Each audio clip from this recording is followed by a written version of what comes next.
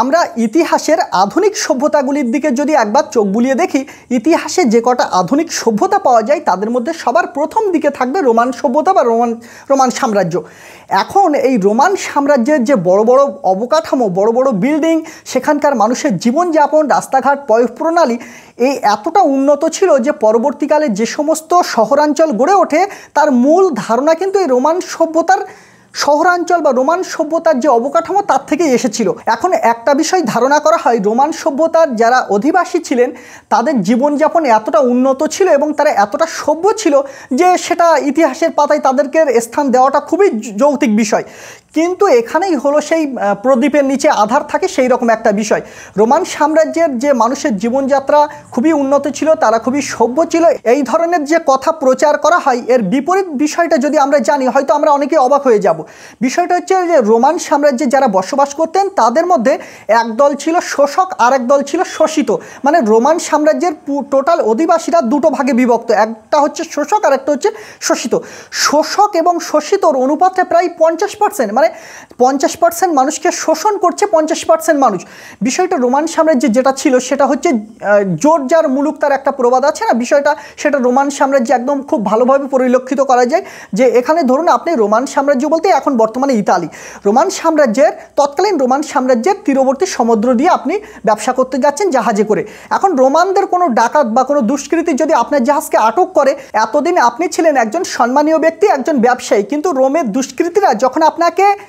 আটক করে রোমান সাম্রাজ্যের মধ্যে নিয়ে গেল। সেই দুষ্কৃতীদের বিচার হবে না, তারা হয়ে গেল মালিক। এখন আপনি হয়ে গেলেন কৃতদাস। সেই মালিকের অধীনে আপনাকে থাকতে হবে। আপনার স্ত্রী, আপনার সন্তান সবাই কৃতদাস হিসেবে গণ্য হবে এবং আপনার যদি ভবিষ্যতে কোনো সন্তান হয়, তারাও ওই কৃতদাস হিসেবে গণ্য হবে এবং রোমান সাম্রাজ্যের মধ্যে কৃত দাস প্রথাটা এতটাভাবে মানে প্রচলিত ছিল যে রোমান সাম্রাজ্যের মধ্যে একটা বাজার বসতো যে বাজারে প্রায় দৈনিক দশ হাজার কৃতদাস কেনা বেচা হতো। রোমানদের সাথে অন্য কোনো দেশের যদি যুদ্ধ হতো, সেই দেশ যদি হেরে যেত, তাহলে সেই দেশের সৈন্য, সাধারণ জনগণ অনেককে তারা হত্যা করে ফেলতো প্রথমে। যদি হত্যা না করে, তাদেরকে বন্দি করে নিয়ে আসতো। তারা পরবর্তীকালে এই রোমানদের কৃতদাস হিসেবে গণ্য হতো, তাদের খেদমতে নিয়োজিত থাকতো।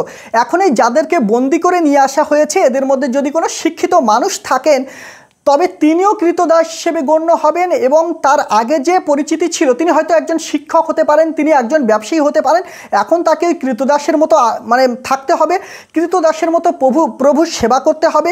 আর রোমে কৃতদাসের প্রতি এত অত্যাচার করা হতো, সেখানে সাবালক, নাবালক, নাবালিকা, সাবালিকা কোনো বিষয় দেখা হতো না। সবথেকে বড় কথা হচ্ছে, কৃতদাসরা অত্যাচার সহ্য করে যেন মালিকের আনুগত্য স্বীকার করে, তার জন্য প্রত্যেকটা প্রভুর বাড়ির দেওয়ালের গায়ে অনেক নিয়ম লেখা থাকতো যে এই কৃতদাসকে এই নিয়ম মেনটেন করতে হবে, এই কৃতদাসকে এই নিয়ম মেনটেন করতে হবে। যদি কোনো কৃতদাস এই নিয়ম ভঙ্গ করে, তাহলে তার এই শাস্তি হবে। কোনো কৃতদায় যদি পালিয়ে যায়, তার এই শাস্তি হবে। কোনো কৃতদায় যদি মালিককে হত্যা করার চেষ্টা করে, তার এই শাস্তি হবে। এমনকি কোনো কৃতদাস অত্যাচার সহ্য করতে না পেরে যদি পালিয়েও যায়, তাকে ধরে এনে তাকে ফাঁসি দেওয়া ফাঁসি দেওয়া বা অন্য অন্য অনেক অত্যাচার করা হতো। কৃতদাসরা যদি পালিয়ে যায়, পালিয়ে যাওয়া কৃতদাসদের ধরে আনার জন্য একটা টিম থাকতো। একজন শিক্ষিত মানুষকে দিয়ে হয়তো মুটের কাজ করাবে, অথবা বিভিন্ন ধরনের কাজ করবে। শিক্ষিত বা যিনি নিরক্ষর, তাকে দিয়েও খুব কঠোর পরিশ্রম করাবে। সবথেকে বড় কথা, কঠোর পরিশ্রমের শেষে তাদেরকে উপযুক্ত উপযুক্ত খাবার পর্যন্ত দেওয়া হবে না। জল, খাবার সব ক্ষেত্রে খুবই তাদেরকে কষ্ট দেওয়া হতো। যদি মালিকের খাওয়ার পরে কোনো উচ্ছিষ্ট থাকতো, সেই উচ্ছিষ্টতা, উচ্ছিষ্ট খাবারগুলি রোমান সাম্রাজ্যে সেই কৃতদাসেরা খেয়ে নিজেদের জীবন বাঁচাতেন। রোমান সাম্রাজ্য সম্পর্কে আমরা যে সমস্ত ভালো ভালো কথা শুনি, যে সমস্ত ভালো দিক আমরা পড়াশোনা করি, যে সমস্ত ভালো দিক আমরা খুঁজে পাই, সেই ভালো দিকগুলোর বিপরীতে এত যে কালো ইতিহাস আছে, সেগুলো হয়তো আমরা অনেকেই পড়ি না বা পড়ার সুযোগ পাই না।